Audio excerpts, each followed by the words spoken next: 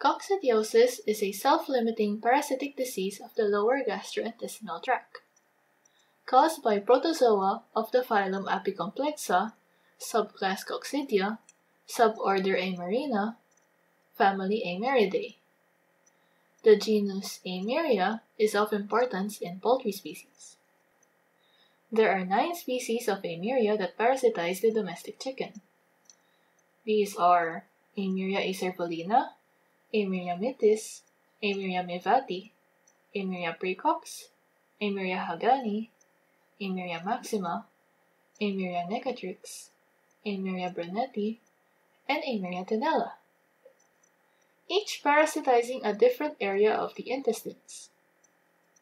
The upper third by the first five, the middle third by the following two, the lower third by Eimeria brunetti, and the ceca by Eimeria tenella. Coccidia are pretty much ubiquitous in any long-standing poultry farm.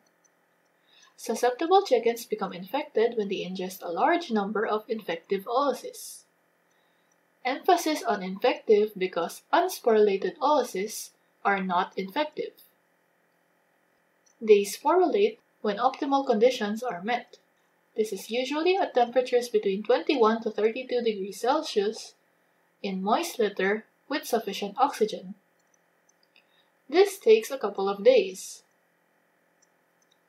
Sporozoites and sporocysts form during sporulation.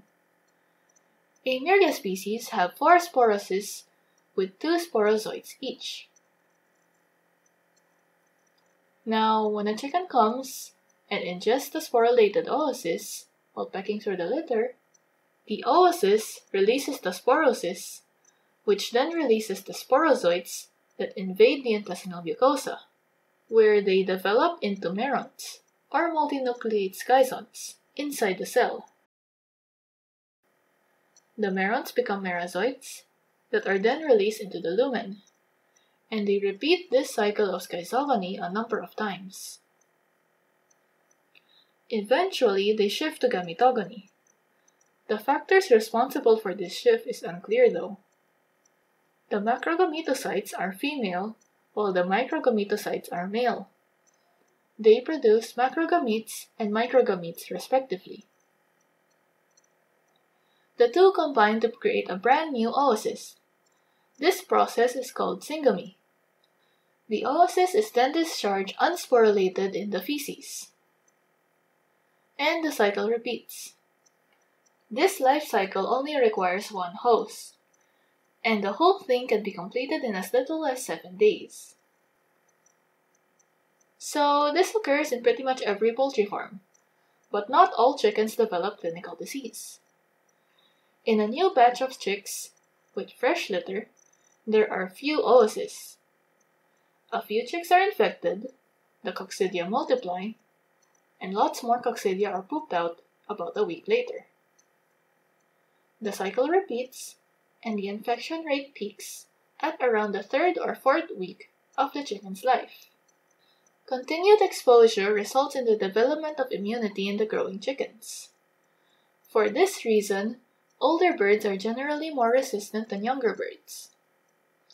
Whether or not the chicken develops clinical disease depends on the infective dose as well as some environmental and host factors. The infective dose is correlated with the number of sporulated oocysts ingested by the chicken.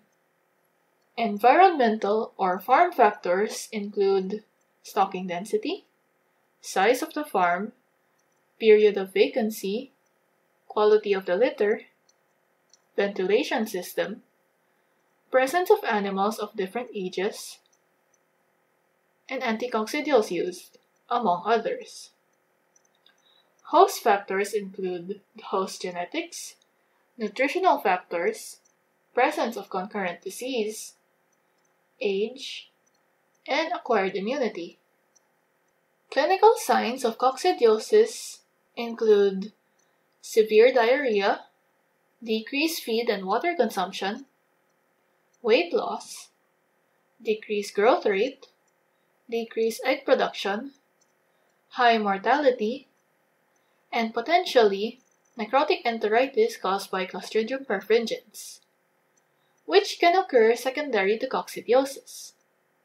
Diagnosis Necropsy is most commonly performed, noting the location and appearance of the lesions. Demonstration of the oocyst in feces with fecal flotation methods can also be done. Control can be achieved through thorough cleaning and disinfection, although oocysts are generally resistant to many disinfectants. Batch depopulation between growouts, having good ventilation, increasing biosecurity measures, and keeping birds on wire floors elevated from their droppings. Anticoccidial drugs are used prophylactically because of the ubiquitous nature of coccidia in most poultry farms, because the damage occurs before clinical signs develop, and because the drugs may be unable to completely stop an outbreak once one has developed.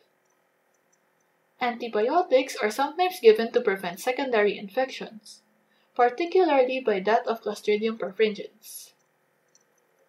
The emergence of drug resistance is a problem with continuous use. To reduce the rate at which this is happening, rotation and shuttle programs on anticoccidials are done. A rotation program is one where the anticoccidials are changed between batches of chickens whereas a shuttle program is one where the anticoccidials are changed between the starter and grower phases of the chicken's life. To recap, coccidiosis in chickens is caused by Eimeria species. Nine species are known to affect chickens. A large portion of its life cycle occurs in the host, with only sporulation occurring outside. Development of disease is determined by the infective dose and some environmental and host factors. Clinical signs include severe diarrhea and production losses. Necrotic enteritis can occur secondary to coccidiosis. Diagnosis is through necropsy and fecal flotation methods. Control is done through improved management, biosecurity measures, and chemoprophylactically.